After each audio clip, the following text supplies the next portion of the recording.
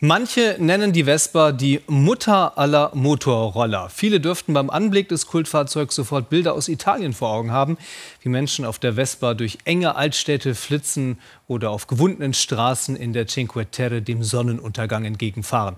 Die Vespa ist nicht nur Fortbewegungsmittel, sondern auch Lebensgefühl und das seit nunmehr 75 Jahren. Marie von Mallinckrodt.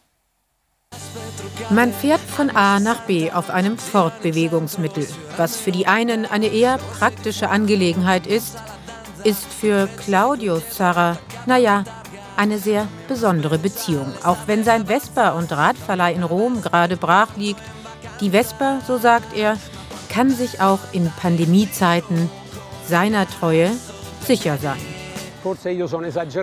Vielleicht übertreibe ich, aber e ich liebe sie. Deshalb habe ich ihr auch ein Lied gewidmet, L'amore in Vespa.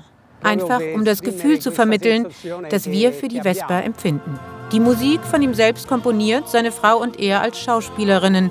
Unklar, ob die Rose nicht doch allein der Vespa gilt.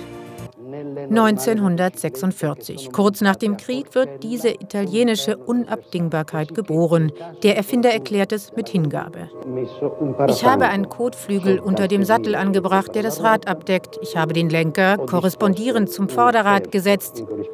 Und automatisch ergibt sich die Form. Was recht simpel klingt, wird für viele zum Kult. Weltweit gründen sich Vespa-Clubs, jedem Zeitgeist seine Vespa.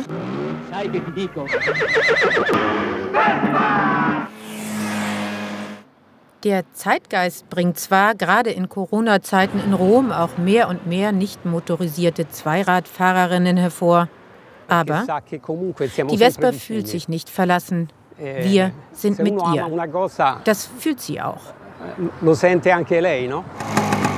Wer so viel Zuneigung spürt, kann sich auch mal ohne Fahrer auf den Weg machen, wie hier in diesem alten Werbespot, wohin die Reise auch in Zukunft geht.